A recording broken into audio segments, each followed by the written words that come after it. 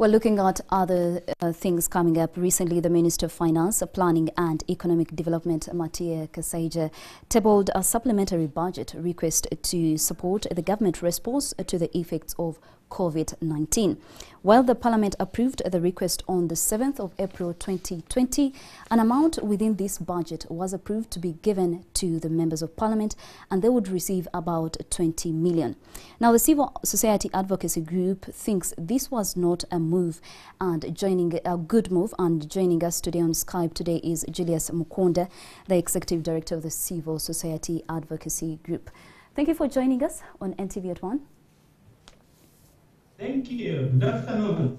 Good afternoon. Well, when I look at the document that you sent, the, uh, you're raising concerns against this supplementary budget. Why is it that the CS BAG is opposed to this money being allocated to the members of parliament? Uh, one is, uh, just straight to the point is, we have three reasons why. Number one, uh, it is wrong. Why is it wrong? It's wrong because by law, we know Parliament is supposed to uh, appropriate according to the Constitution, Article 156.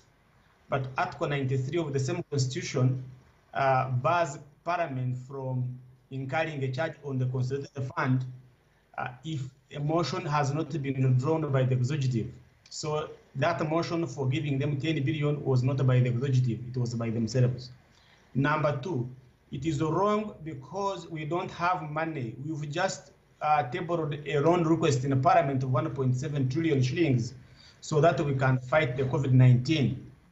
Secondly, is that the president is asking the friends of Uganda to contribute money to fight COVID-19. So why would a member of parliament decide to steal money from the consolidated fund for their own benefit? And lastly, for us, it is morally wrong in the times of crisis like this, for you, you think it is an opportunity to make money.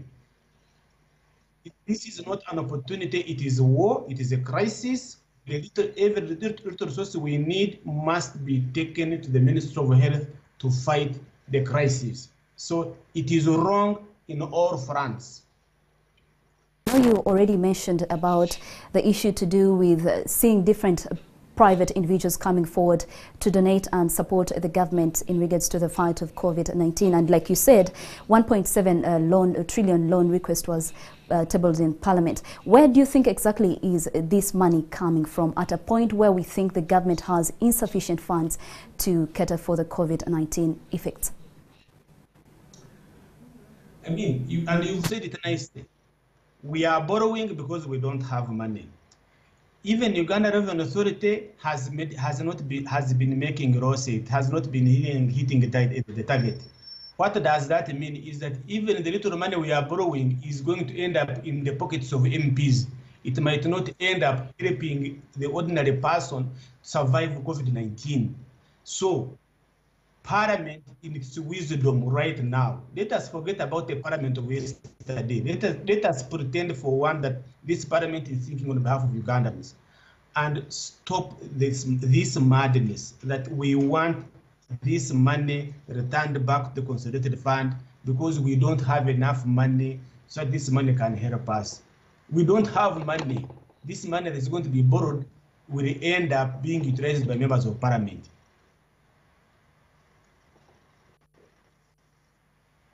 Should be allocated. Yes. Uh, Mr. Julius, once again, I repeat my question. Where do you think, yes. where would you rather we invest this money, the 10 billion?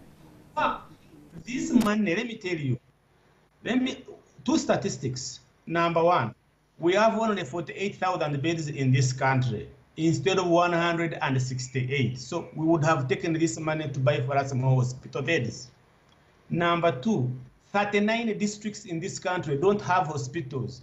God forbid, if this health crisis increases, how will they manage? Number three, the government has only 181 ambulances. 181 government ambulances. Forget about the private. This money would have gone there. But above all, a combination of Uganda blood transfusion, Uganda Virus Uh, research institute, and national medical stores in the next financial year, 2020-2021, they have a deficit of 10.6 billion. So this money would have gone there.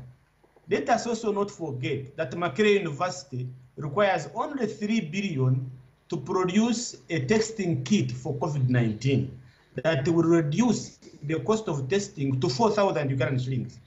Surely, we have where this money can go in this time of crisis.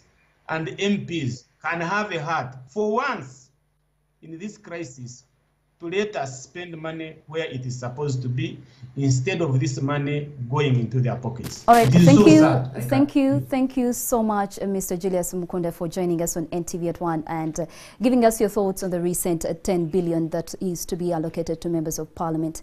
And now NTV at 1 will take a short break, but do not go away.